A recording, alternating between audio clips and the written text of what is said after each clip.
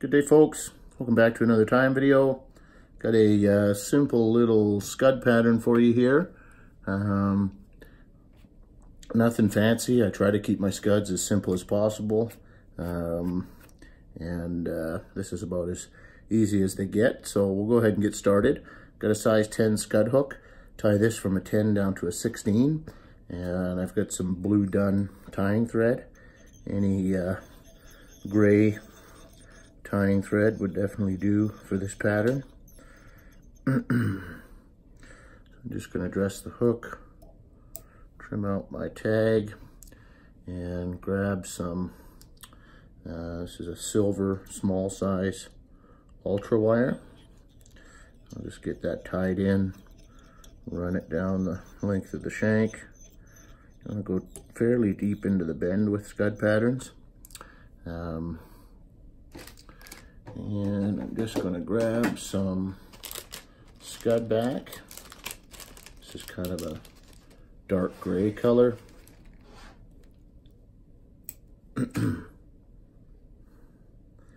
Anything dark gray like this will work. Actually, anti-static bag will work with this as well. So, a couple options there. So we're going to get this tied in down here at the bottom. Make sure it's somewhat centered down there. That looks pretty good actually. And then grab a hold of some dubbing. I've got some ice dub, but uh, tie these with super bright dubbing. Um, typically I like a little bit of flash in my scuds. I fish them a lot in the fall and uh, the fall seems to be when, for us anyways, that a little bit of extra flash seems to go a long ways. So we're just gonna start dubbing this and work a little bit of a taper from slim to a little chunkier in the center and then slim it out a little bit um, towards the front.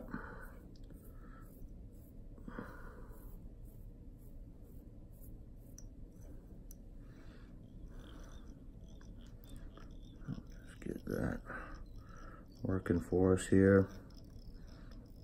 A little chunkier in the middle.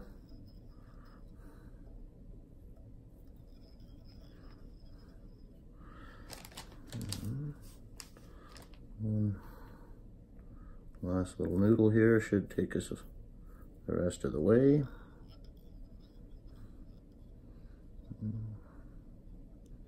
Not quite. It's okay, like I said before, if you're with dubbing, little bits at a time, tend to make it easier to work with. that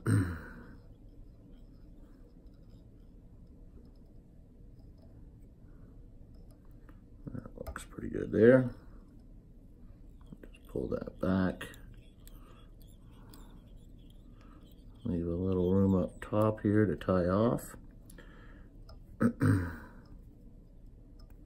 now I'm just going to grab that scud back, pull it right over the top, and grab a hold of it.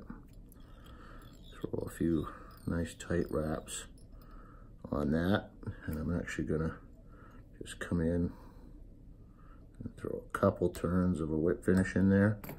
Again, with stretchy material, especially up near the head. You don't want to accidentally bump your uh, bobbin or anything and have them come loose. So I'm just going to tug on that, give it a snip. It'll uh, suck right back in so your eye's nice and clean. And then we'll just take this wire and just look to segment the body. First ones can be a bit of a pain sometimes because you get that slippery scud back, but once you get it to bite in, Usually not too bad.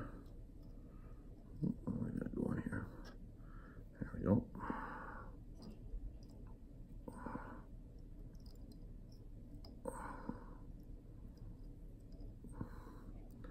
And then when I do these wire wraps, I pull down fairly snug and it kind of creates really nice segmentation if you dig into that scud back a little bit. So tie off our wire and just twist it out of there.